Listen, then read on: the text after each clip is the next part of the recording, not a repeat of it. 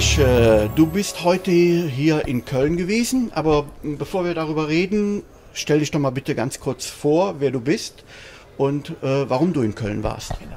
Ja, Gesche Joost ist mein Name. Ich bin im Kompetenzteam von Peer Steinbrück. Jetzt seit Mai bin ich nominiert und zwar für das Thema vernetzte Gesellschaft.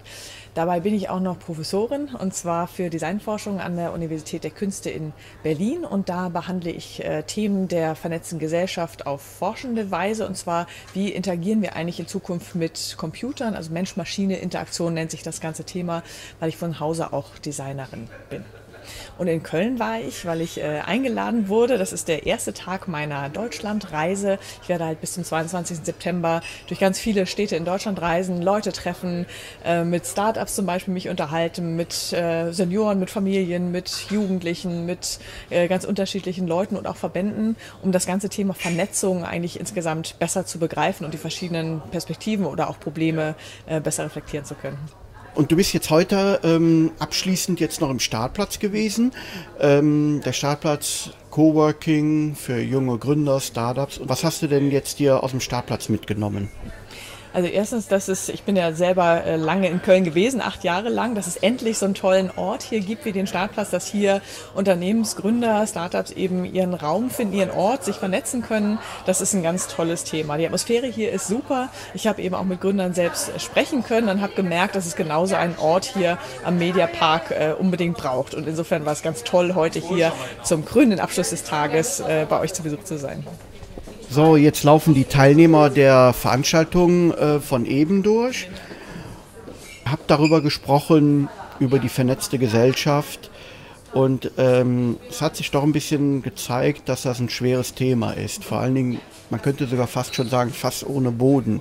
Wie will die SPD mit dir im Kompetenzteam. Was habt ihr so davor? Was wollt ihr erreichen? Mhm. Ich finde es ein ganz tolles Thema. Also vernetzte Gesellschaft ist auch mehr als nur Netzpolitik, sondern es fragt sich eigentlich, wie vernetzen wir uns insgesamt in der Gesellschaft? Und da sollen eben alle mit im Boot sein. Und was ähm, es gibt ganz verschiedene Ebenen. Auf der einen Seite muss man sagen, wir brauchen erstmal die Infrastruktur, damit man sich überhaupt vernetzen kann. Also Breitbandausbau ist ein ganz großes Thema in den ländlichen Regionen. Wir haben heute hier in Köln auch nochmal drüber gesprochen, wie ist es für junge Startups, brauchen die vielleicht freies WLAN in Köln? Das könnte mal ein Projekt sein. Oder oder dass man auch sagt, haben die wirklich die richtig guten breitbandigen Qualitäten hier äh, im, vor Ort in Köln zur Verfügung? Also was braucht man eigentlich an optimaler Infrastruktur? Das ist so ein Thema. Ein zweites großes Thema, was wir heute auch besprochen haben, ist Medienkompetenz. Also vor den ganzen Datenskandalen auch, wie sieht es eigentlich für uns persönlich aus? Wie wollen wir in Zukunft mit unseren Daten umgehen? Das sollten wir eben von der Schule an lernen, vielleicht auch programmieren lernen, wissen, wie gehe ich eigentlich mit dem Netz um und wie gestalte ich das Netz selbst und das aber bis ins hohe Alter zu machen. Also eben eben auch Seniorinnen und Senioren habe ich heute auch getroffen, die gesagt haben, das Netz ist für sie auch ein toller Ort, ähm, sich auszutauschen oder auch Bildung in Anspruch zu nehmen. Aber sie haben doch großen Respekt oder vielleicht auch Angst inzwischen vor dem Netz, weil wir einfach durch die Enthüllungen von Edward Snowden gemerkt haben, dass da ähm, Zugriff auf Daten möglich ist, den wir so nicht ähm, vorausgesehen haben in der Bandbreite. Und da gibt es eben verschiedene Themen, die wir noch haben. Digitale Arbeit ist ein großes Thema. Wie können wir Startups eben besser unterstützen? Wie können wir auf diese neuen Modelle der digitalen Arbeit eigentlich eingehen. Also, dass es einfach von überall her passieren kann, dass es sehr positiv ausgelebt werden kann. Und was brauchen eigentlich ähm, Startups für Strukturen? Da war das Spannende, dass äh, die Aussage hier war, an, an der Finanzierung, das ist eigentlich gar nicht so das, die größte Hürde, sondern eher an der äh, Transparenz, dass man besser kommunizieren kann. Was passiert hier eigentlich gerade Tolles? An der Vernetzung scheitert es häufig, dass man die richtigen Leute eigentlich trifft und dass man auf eine Kultur trifft, wo es auch okay ist, dass man mal scheitert und dass man dann einfach wieder neu aufstehen kann und loslaufen kann. Und das ist was, weil ich eben auch selber aus dieser Szene so ein bisschen äh, komme, was mir sehr am Herzen liegt, dass man das in Deutschland richtig ankurbelt und da, dass die Gründer richtig tolle Strukturen hier finden, nicht nur in Köln hier an diesem Platz, sondern insgesamt in Deutschland. Aber trotzdem nochmal die kritische Hinterfragung.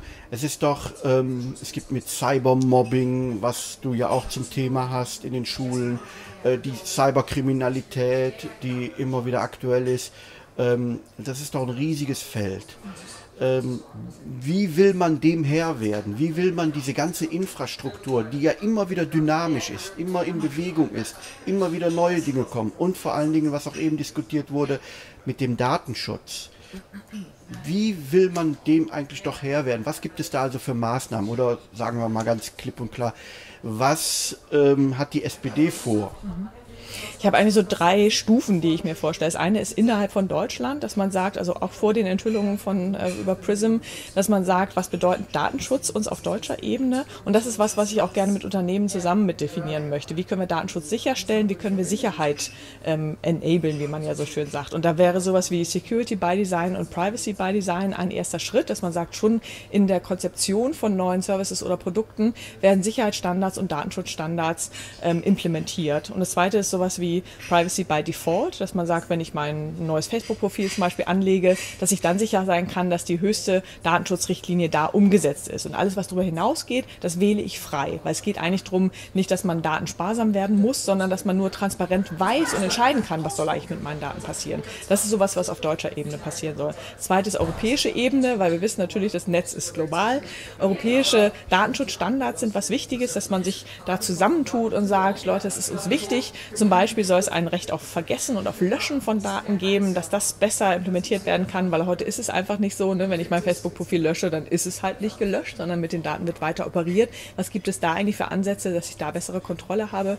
Und das zweite ist ein sogenanntes Marktortprinzip, dass man sagen kann, globale Player, sowas wie auch Google, wenn die ähm, in Deutschland oder in Europa ihre Dienste anbieten, dann sollen sie bitte auch das hier geltende Recht einhalten und eben nicht sagen können, naja, die Server stehen ja in den USA, was kümmert mich, was ihr hier für Datenschutzrichtlinien habt. Also dass man mit solchen Instrumentarien eigentlich einen besseren Schutz der Verbraucherinnen und Verbraucher hinbekommt.